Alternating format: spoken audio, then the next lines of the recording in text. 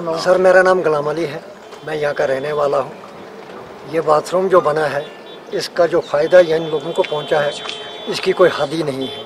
इसमें कम से कम चौदह पंद्रह नंबरदारियाँ जो हैं, जो यहाँ से काफ़ी दूर दूर पचास साठ किलोमीटर से भी लोग जो रास्ते से चलते हैं, माएँ, बहनें, बेटियाँ, वो इस बाथरूम को इस्तेमाल करती हैं। इसका फ़ायदा जितना भी हो, कहे कोई उतना ही कम है। और इसकी बहुत ज़रूरत थी हम लोगों को, ये खास करके ब्लॉक डेवलपमेंट ऑफिसरों ने और यहाँ के लोगों ने जो इसमें ताउन दिया है, इसकी कोई हद नहीं है। बहुत ज़बरदस्त भीड़ भाड़ रहती है, खास करके जो बाहर की यात्राएँ जो आती थी, उनके लिए ज़्यादा मुफाद है। यहाँ तो लोगों के लिए तो है ही है, लेकिन जो बाहर हिंदुस्तान से जो लोग आते हैं, माएँ, बहनें, बेटियाँ जितनी भी आती हैं, उनके लिए ये बहुत फैसिलिटीज़ का एक मकाम बन गया है।